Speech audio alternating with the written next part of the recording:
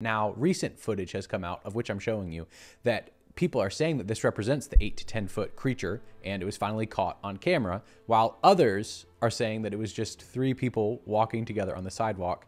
We have a lot of footage and a lot of information to get into. And one of the most interesting turn of events, the witness that testified of how he saw the Nephilim in the Miami Mall and how everyone was just running, now says he was trolling and that he wasn't being for real, but then ended the video by saying that you guys do need to look out for these types of creatures though, with a little bit of a, a winky wink. And a lot of people are saying that he's been silenced by the men in black However, others are saying that we were all trolled. And, and I firstly also just want to say, another guy who was the son of a police officer put out a video where he FaceTimed his dad, who apparently is running for sheriff. And uh, then his, his dad didn't really have any words to say when he was questioned about the event that took place, of which I'll be showing you guys that video here in a couple minutes. And you're gonna wanna stick around here on this video because I'm gonna tell you some details about the Nephilim that might explain some things to you. And again, we're just looking into this. I was shocked to hear the criticism that I got on the first video. People were saying that I, I talked too much about the, the Nephilim and other people were saying that I didn't talk enough about them. So I was I was pretty surprised to hear both ends of the spectrum. And I, I, just want to clarify for all those who are about to comment something right now that we are just looking into the topic. I am not guaranteeing that there were eight to 10 foot creatures spotted at the mall. You can understand why the public though doesn't just automatically believe the police officers. Like the news media and everyone has been making fun of people like myself who are simply looking into the topic. And they say that we are just funneling conspiracy theories and just adding fuel to the fire but just because we don't automatically believe everything we're told by the mainstream media, and you can understand why, after we've been lied to time and time again, yeah, we're not automatically gonna take your word for it. I'm gonna show you the video from the son of a police officer. How have I not heard about this? My dad's a police officer in Miami, and I mean, like, he's even running for sheriff, and I, I just talked to him. He didn't say anything about that. Hey. Hey, did you, uh, have you been seeing the alien stuff? Did you see that in, at, at Bayside?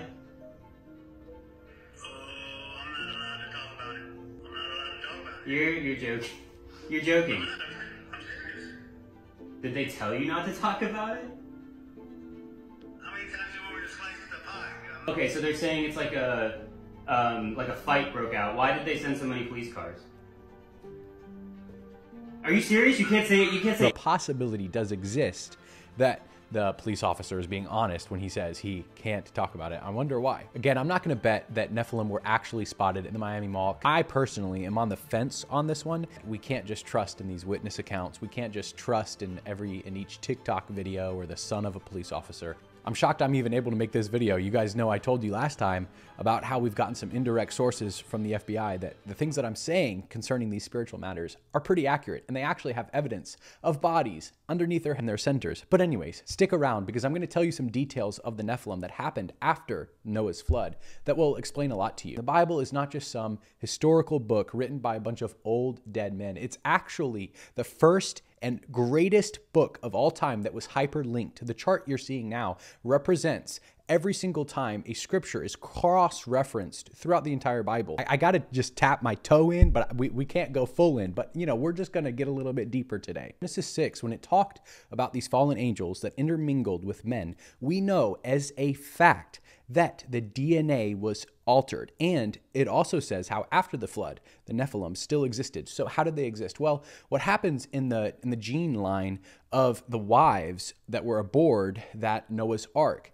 who's to say that their genes weren't slightly intermingled? And I mean, sure, maybe they weren't full giants at the time. And so you're thinking, well, then how could giants exist afterward? But if there's at least one fallen DNA strand within their genes of whom they were on the Noah's Ark, then you could understand how after that, other genealogies are going to represent that. And that's actually why Jesus had to have the perfect bloodline. That's why the Bible spends pages just telling you the names of each generational line that Jesus had is because Jesus redeemed us from the broken curse. You got to understand people people are like why did God send the flood? You don't understand. Humans almost didn't even exist when he sent the flood. It, it was a fallen breed of cannibalistic animals. God sending the flood didn't eliminate humanity. He was actually rescuing humanity. So with these Nephilim, not only could their spirits continue operating in the regions that they had authority of, but you can see how their genes still intermingled with the human population. It's also interesting. Now we have artificial insemination. We have some really shady things going on in the world right now. It reminds me of a story of a woman who was told that she could just live out her career and do everything that she wanted to do. So she froze her eggs. I think she had like six eggs. And sure enough, after she came back, she lived out her career, you know, she did what the feminist movement told her to do, and her eggs unfroze, and none of them ended up surviving. They all died. She was pulling out her hair saying, How could I have been so lied to, so manipulated, and now I can't even have a generation after me? And that's what people realize, man, is you you drink the tea that the world gives you, and sure, you live for yourself and you fill yourself up. And then at the end of your days, you look back and you're like, man, what can I continue carrying on in this generation? And when you've completely forsaken the gifts gifts that God has given, you you shouldn't be wondering why you're not walking in joy and peace and love and life and victory. Here's what's amazing about Father God. I know by now you're probably questioning your own DNA. You're like, Gabe, do I have some Nephilim spirits up within me? Listen, you don't need to fear if you're under the right type of blood. The blood represents the very life of someone's person, the very value that someone carries. And the blood of the Son of God, the only Son of the Alpha and Omega, the beginning and the end, was literally the price that was paid for your life because he loves you so much, because he has chosen you.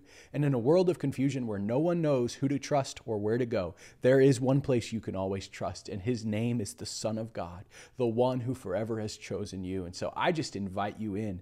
I know if you're like the viewers who were on the last video, uh, you might be questioning this, you might be debating with me, you might be just wondering something. What if I just told you, what if Jesus could be real? And what if he could actually be caring for you? You say, Gabe, how could a God even exist after all the struggle I've been through, after all the evil and all the babies being killed and all the wars going on and all the diseases, how could God ever exist? And if he does exist, I wouldn't even want to serve him because it's just so evil. Well, what if I told you that God is actually so good? He's given us free will, and it's actually our choice how we choose to handle this earth. And as good as God is, because he's good, he actually represents true love. And if you know true love, it's not slavery, it's not robots, it's not manipulation. When I married my wife, I didn't drag her down the aisle. I couldn't do that. That wouldn't represent a real relationship. And as much as God loves you, He only wants you to experience Him out of your own choice.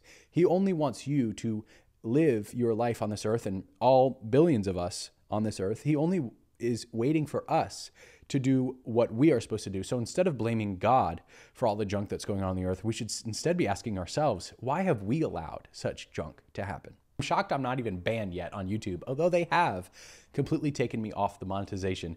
I haven't gotten a single penny from YouTube in the past six months now. And the only reason I'm able to continue running this channel is because of viewers like yourself. And if you would like to support the messages that I'm getting out there, I preach everywhere I go for completely free. I pay for my own flight, I pay for my own hotel, the car rentals, which can be pretty expensive nowadays. I'm able to do that because of your guys' support. So if you guys want to continue supporting me and donate to the channel, you can do so down the link in the description below. YouTube is suggesting this next video to you because it's actually pretty interesting. Some Nephilim that appeared in the Solomon Islands have been talked about for a long time. And I don't know, we just looked into the topic. It's something pretty interesting that you got to look into. I don't know why you haven't clicked right here. Uh, so be sure to go check this out and hit the subscribe button while you're at it.